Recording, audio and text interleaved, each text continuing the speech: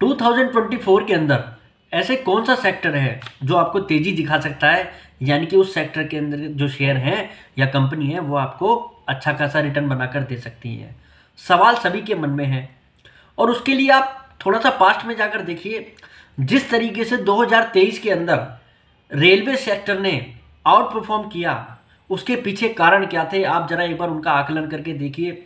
Defence sector ने outperform किया उसके पीछे कारण क्या है, जरा एक बार थोड़ा सा आप सोच कर देखिए। सबसे पहले गवर्नमेंट का इन सेक्टर के अंदर विशेष रूप से फोकस करना, सेक्टर के लिए अच्छी अच्छी पॉलिसी लाना, और दूसरा, इन कंपनियों का फिनेंशियल्स में यहाँ पर सुधार दिखना और फंडामेंटली कंपनियों का सुधार दिखना। कहने का मतलब कंपनियों के फिनेंशियल फंडामेंटल यहाँ पर अच्छे खासे सुधरे, जिसके कारण इन कंपनियों की री रेटिंग हुई, इस सेक्टर की री रेटिंग हुई। ऐसा ही सेक्टर इस समय में 2024 के अंदर जो उभरता हुआ दिखाई दे रहा है, वो सेक्टर लगता है बैंकिंग सेक्टर जिस तरीके से गवर्नमेंट ने पीएसयू बैंकों के अंदर पास्ट में सुधार किए हैं आरबीआई ने जिस तरीके से सुधार किए हैं, अब उसका इम्पैक्ट बैंकिंग सेक्टर के एसेट क्वालिटी पर आपको साफ़ साफ़ दिखाई दे रहा है।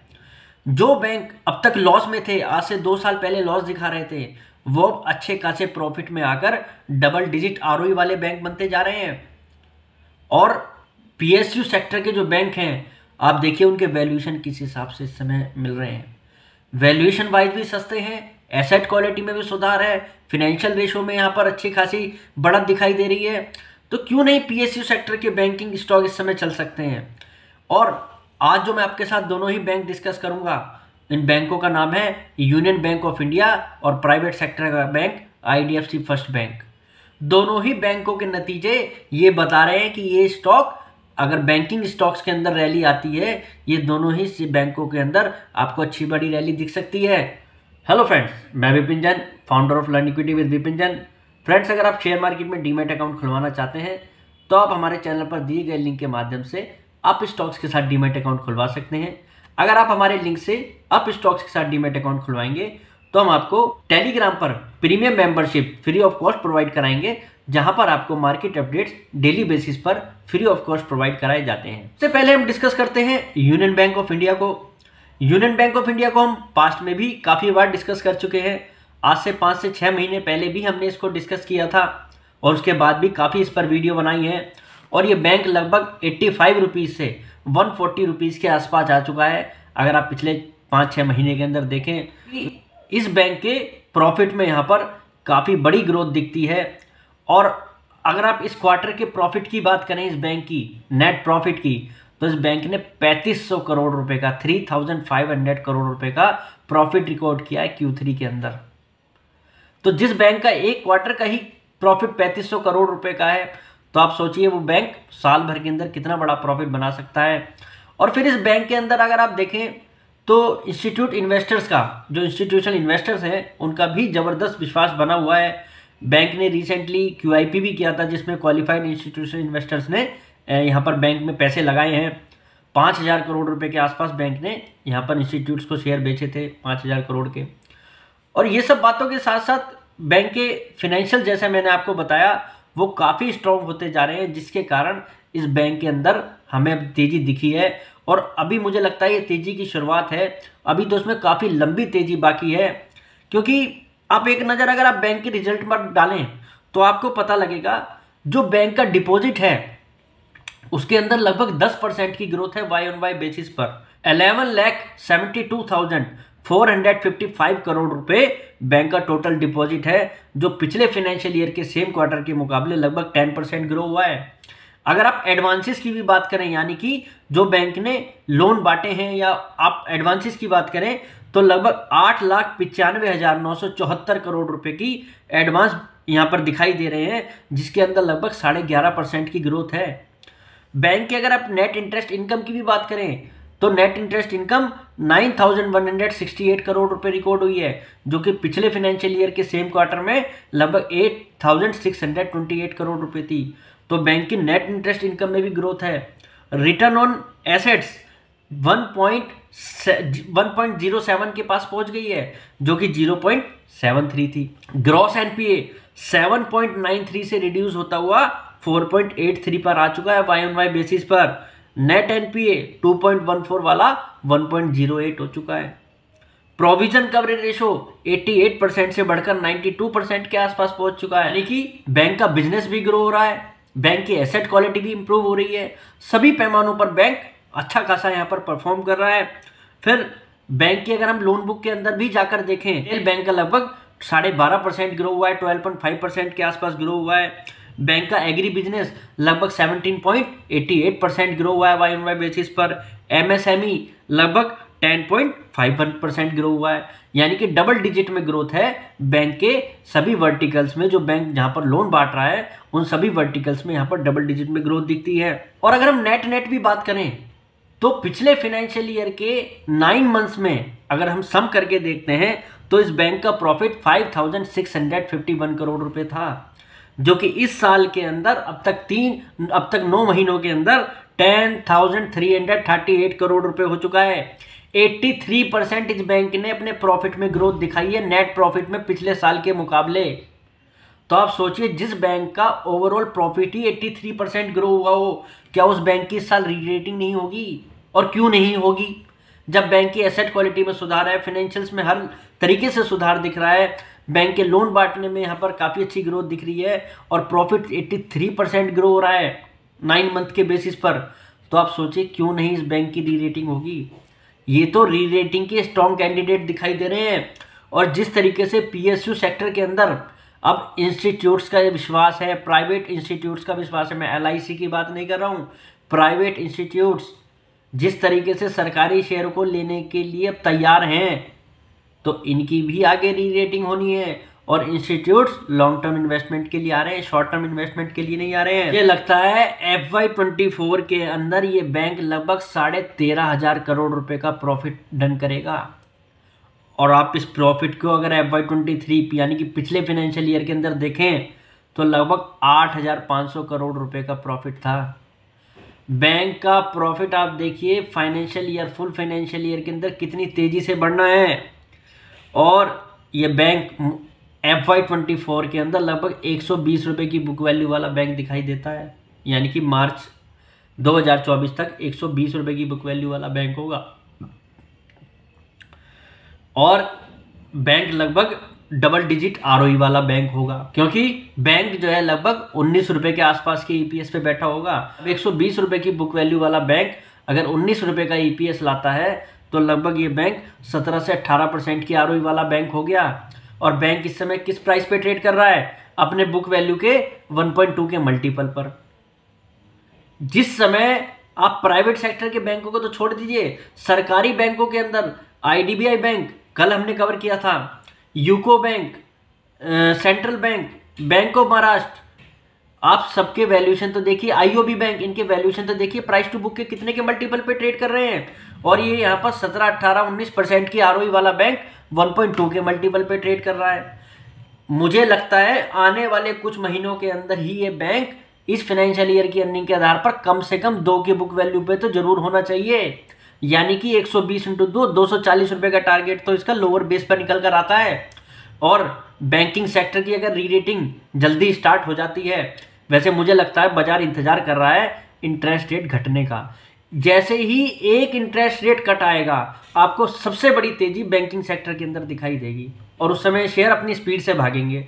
तो मुझे लगता है union bank of India lower level पे हमें एक सौ का टारगेट निकल कर देखना चाहिए और आगे आगे जैसे जैसे मार्केट री रेटिंग करेगी तो कोई बड़ी बात नहीं है। ये बैंक अपने बुक वैल्यू के तीन के मल्टीपल पे, चार के मल्टीपल पे भी दिखाई दे, क्योंकि उस समय भी ये शेयर महँगे नहीं होंगे। और मुझे लगता है अगर चार का मल्टीपल भी मिल जाए तो जब भी ये बैंक अपने प्रीवियस हाई के आसपास ही होगा। दूसरा हमारा बैंक है आईडीएफसी फ़र्स्ट बैंक ये बैंक के मैनेजमेंट के तो आप जानती हैं कितना स्ट्रांग मैनेजमेंट है, और इस बैंक के मैनेजमेंट ने कितना कुछ ऐसा पास्ट में किया है, जिससे ये पता लगता है बैंक का मैनेजमेंट काफ़ी स्ट्रांग मैनेजमेंट है। क्योंकि मैनेजमेंट ने जितने भी लक्ष्य 2018 में सेट किए थे, मुझे लगता है ज़्यादातर सभी लक्ष्य को ये बैंक आज की डेट में अचीव कर चुका है। और मैं आपको बैंक की गाइडेंस 2.0 के बारे में भी बताऊँगा, यानी कि इस बैंक ने दो हज़ार उनतीस के लिए नए लक्ष्य अपने आगे रखे हैं। अब ये बैंक यहाँ से एक नई ट्रेजेक्ट्री में जाने के लिए तैयार है, क्योंकि अगर आप उन टारगेट को सुनेंगे तो आपको पता लगेगा कि इस बैंक ने कुछ अलग ही लेवल पर पहुँचने की तैयारी कर ली है। और वैसे रिज़ल्ट की बात करें तो बैंक के नतीजे बेहद ही शानदार रहे हैं। बैंक की लोन बुक में लगभग 24.5 परसेंट की ग्रोथ है वाई एन वाई बेसिस पर। जो इस समय one lakh eighty nine thousand four hundred seventy five crore पे है। बैंक की डिपॉजिट की बात करें तो लगभग 42 परसेंट की ग्रोथ है वाई एन वाई बेसिस पर, जो इस समय लगभग one lakh seventy six thousand four hundred eighty one crore रुपए पे है। यानी कि बैंक के यहाँ पर लोन्स में डिपॉजिट में डबल डिजिट में ग्रोथ है वाई एन वाई बेसिस पर। बैंक का काशा रेशो 46.8 परसेंट के आसपास है। ग्रॉस एनपीए में काफ़ी अच्छा रिडक्शन हुआ है। 2.96 वाला ग्रोस एन 2.04 पे आ चुका है वाई वाई बेसिस पर।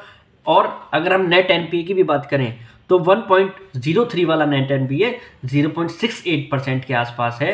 इस समय अगर हम देखें वाई वाई बेसिस पर। और अगर हम इस समय प्रॉफिट आफ्टर टैक्स की भी बात करें तो बैंक इस समय लगभग सात करोड़ रुपए के प्रॉफिट पर खड़ा है क्यू के अंदर, जो कि पिछले फाइनेंशियल ईयर के सेम क्वार्टर के अंदर 605 करोड़ रुपए था।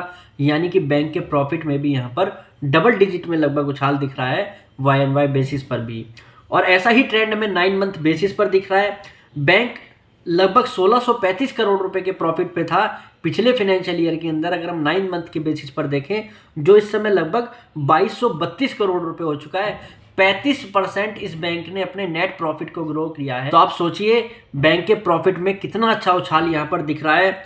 और इसका इम्पैक्ट ओवरऑल ईयर में भी आने वाला है। मुझे लगता है इस साल के अंदर ये बैंक लगभग 2500 करोड़ रुपए के आसपास का प्रॉफिट वाला बैंक होगा। और डबल डिजिट आर वाला बैंक जैसे आप बन गया है तो बैंक इस साल तो बैंक इस साल फुल फाइनेंशियल ईयर के अंदर भी डबल डिजिट आर वाला बैंक ये दिखाई दे रहा है। और दूसरा, जैसा मैंने आपको बताया था कि मैं आपको मैनेजमेंट की गाइडेंस 2.0 के बारे में बताऊँगा, जो मैनेजमेंट ने टारगेट सेट किए हैं 2029 के लिए। समझना बहुत ज़रूरी है आपके लिए। 2018 में ये बैंक 206 ब्रांचों पे था। 2023 के अंदर 897 ब्रांचेस पर है मैनेजमेंट की माने तो दो हज़ार उनतीस तक ये ब्रांचें 1700 से 1800 होने वाली हैं। डिपॉजिट अड़तीस हज़ार चार सौ पचपन करोड़ रुपए का डिपॉजिट था 2018 में। इस समय अगर देखें, एक लाख छिहत्तर हज़ार चार सौ इकतीस करोड़ रुपए चार सौ इक्यासी करोड़ रुपए पाँच लाख पिचासी हज़ार करोड़ रुपए के आसपास बैंक का एफ़ आई ट्वेंटी नाइन तक डिपॉजिट पहुँचने वाला है। अब आप सोच लिए, बैंक का बिज़नेस कितना बड़ा होने वाला है। तीन गुना तो सीधा सीधा होता हुआ दिख रहा है। बैंक की लोन बुक एक लाख चार हज़ार छह सौ साठ करोड़ रुपए की थी। आज one lakh eighty nine thousand four hundred seventy five crore रुपए की है। बैंक की माने तो बैंक की लोन बुक लगभग पाँच लाख करोड़ को पार कर देगी। बैंक की यहाँ पर लोन बुक में भी बैंक को तगड़ा उछाल दिखाई दे रहा है। रिटर्न ऑन एसेट्स जो नेगेटिव थी एट 2018 के अंदर, लगभग टू परसेंट के आसपास जाती हुई दिखाई दे रही है और इस समय लगभग 1.2 परसेंट के आसपास है। सबसे बड़ी बात रिटर्न ऑन इक्विटी मैनेजमेंट को लगता है सत्रह से अट्ठारह परसेंट की रिटर्न ऑन इक्विटी होगी आने वाले चार पाँच सालों के अंदर जिस हिसाब से बैंक काम कर रहा है, कि यानी कि सत्रह अट्ठारह परसेंट की रिटर्न ऑन इक्विटी पर उस समय काम कर रहा होगा, जो कि इस समय ही लगभग ग्यारह परसेंट के पास पहुँच रही है। यानी कि अगले आने वाले कुछ जो साल हैं, इस बैंक के लिए काफ़ी अच्छे साबित होने वाले हैं। जो मैनेजमेंट ने मेहनत अब करी है, अब तक करी है, उसका फल अगले कुछ सालों में आपको मिलने वाला है। और इस साल इस बैंक की री रेटिंग क्यों होगी? क्योंकि बैंक का प्रॉफिट अच्छा खासा है बैंक की एसेट क्वालिटी काफ़ी अच्छी है। फोर्टी फाइव रुपीज़ के आसपास की बुक वैल्यू वाला ये बैंक दिखता है और लगभग ग्यारह परसेंट की आर वाला बैंक इस समय कितने पे ट्रेड कर रहा है? लगभग एट्टी फाइव रुपीज़ के आसपास है। बैंक अपने बुक वैल्यू के लगभग वन पॉइंट नाइन के मल्टीपल पे है। प्राइवेट सेक्टर के अंदर ये बैंक अगर देखा जाए तो काफ़ी अच्छे वैल्यूशन पे समय मिल रहा है। और इस बैंक को भी आने वाले समय में चार का, पाँच का, तीन का मल्टीपल ज़रूर मिल सकता है। प्राइवेट सेक्टर के अंदर और जिस हिसाब से बैंक डेवलप हो रहा है, जिस हिसाब से बैंक इस समय काम कर रहा है, उस समय, उस हिसाब से तो बैंक की री रेटिंग यहाँ पर ज़रूर होनी चाहिए। ये बैंक भी आपको इस साल काफ़ी तेज़ी दिखा सकता है और मुझे लगता है शॉर्ट टर्म में ये बैंक जो है एक सौ तक के टारगेट दिखा सकता है।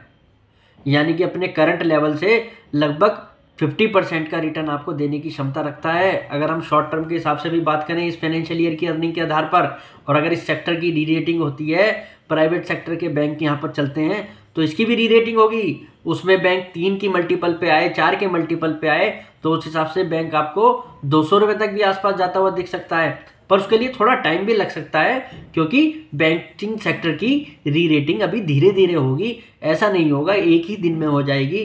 तो आपको इस साल बैंकिंग सेक्टर के अंदर विशेष रूप से फोकस रखना चाहिए, क्योंकि इनके वैल्यूएशन काफ़ी अट्रैक्टिव हैं और जहाँ पर वैल्यूएशन अट्रैक्टिव है अर्निंग है, निश्चित रूप से वहाँ पर शेयरों की री रेटिंग होती है और उस री रेटिंग में ही पैसा बनता है। रेलवे सेक्टर के अंदर री रेटिंग हुई तो जब ही आपका पैसा बना है वैल्यूएशन चेंज हुए पीई यहाँ पर कंपनियों का ईपीएस बढ़ा तो उनका पीई भी बढ़ा।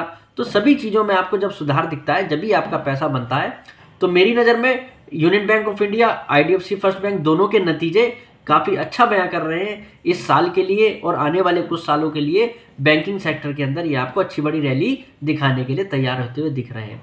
तो उम्मीद करता हूँ, मेरा आज का ये वीडियो आपके बड़े काम का साबित होगा। दोनों ही कंपनियों के रिज़ल्ट को लेकर समझने में आपको काफ़ी मदद देगा। और अगर आप इनके अंदर इन्वेस्टेड हैं तो आपको कन्विक्शन देगा ताकि आप लॉन्ग टर्म के लिए सिटिंग रहें। पैसा क्योंकि लॉन्ग टर्म बैठने में ही बनता है। ट्रेडिंग में ना रहकर अगर आप लॉन्ग टर्म इन्वेस्ट करेंगे, जब भी आपका पैसा यहाँ पर अच्छा खासा बनेगा। तो आज के लिए इतना ही। कल फिर मुलाकात करते हैं एक नई वीडियो के साथ। फ़िलहाल के लिए नमस्कार।